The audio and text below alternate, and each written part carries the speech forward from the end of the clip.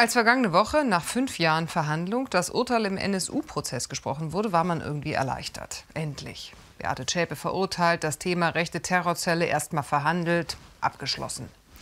Nur man sollte sich in diesem Gefühl nicht ausruhen. Ich glaube nicht, dass sowas nicht nochmal passiert, sagte neulich eine der Beobachterinnen des NSU-Prozesses in Panorama. Es gibt weitere rechtsextreme Gruppen in Deutschland, auch militante, so wie Combat 18. Die zum Beispiel sollte man gut im Auge behalten. Julian Feldmann und Patricia Schlosser haben sich auf die Spur von Combat 18 begeben.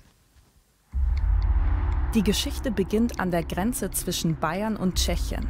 Hier stoppt die Antiterroreinheit GSG 9 im vergangenen September zwölf Neonazis.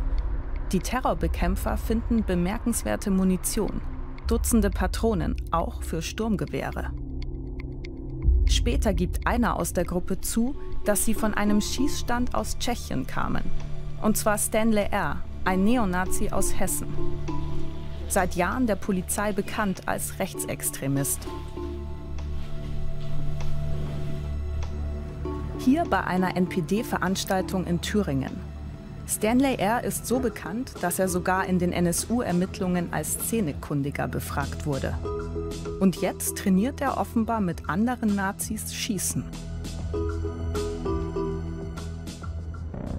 Wir fahren zu dem Schießstand in Tschechien, den Stanley R. im Prozess beschrieben hat. Das Hinweisschild vielsagend, auf Deutsch. Leihwaffen alle Kaliber. Wir geben uns als ganz normale Kundschaft aus, also etwas schießwütig.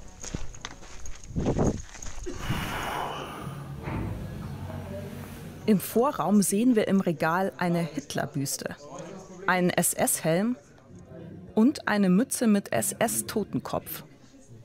Mit uns warten drei junge Männer aus Bayern.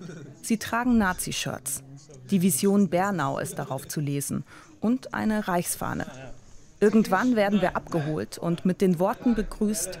Gott sei Dank kein deutscher Neger wollen. Oh, Sturmgewehre, Pistolen. Wir haben die freie Wahl.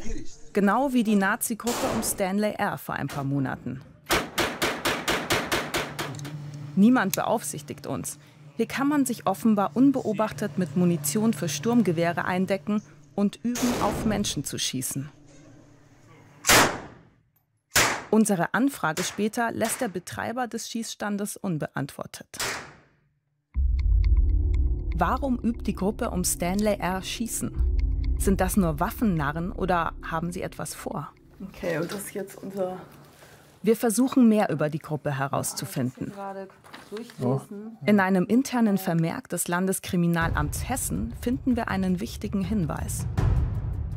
Stanley R. soll Deutschland, wenn nicht sogar Europachef von Combat 18 sein. Combat 18. 18 steht für AH im Alphabet, also Adolf Hitler.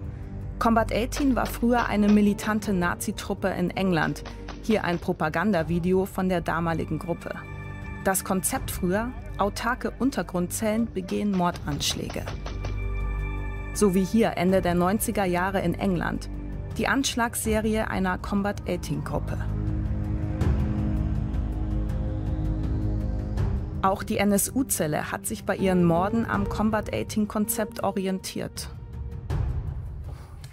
Verfolgt die Gruppe um Stanley R. ähnliche Pläne? Interne Unterlagen zeigen, es gibt ein geheimes Regelwerk namens Combat 18 Deutschland Richtlinien. Ja, das ist ein kleines Heftchen. Darin heißt es, jedes Bundesland, GAU, bekommt seine Sektion mit einem Sektionsführer. Auch regelmäßige Treffen, Kleiderordnung sowie sogenannte Bruderpflichten sind in dem Papier geregelt.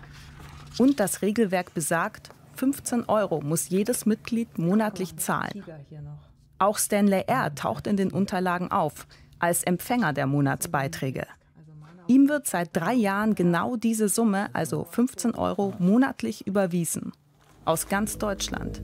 Offenbar gibt es also tatsächlich eine funktionierende Struktur von Combat 18 in Deutschland.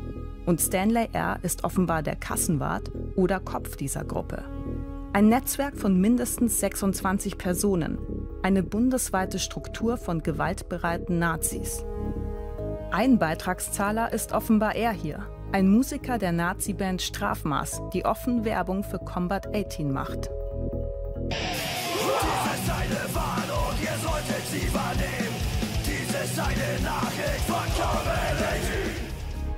Der Musiker, ein polizeibekannter Gewalttäter, der in seinem Heimatort auch schon mal eine Bürgerwehr aufgestellt hat. Er schreibt uns auf Anfrage, ich bin seit drei Jahren raus aus der Szene. Mehr habe ich nicht zu sagen. Komisch, dass seine Musik mit der Combat 18 Werbung bis heute verkauft wird. Amtsgericht Hof in Bayern. Heute wird das Urteil gegen Stanley R. verkündet. Es geht um die Munition, die die Polizei bei ihm an der Grenze gefunden hat. Er sagt, er habe die Munition aus Versehen mitgenommen. Weil das Gericht nicht beweisen kann, dass er es absichtlich getan hat, bekommt er nur eine Geldstrafe.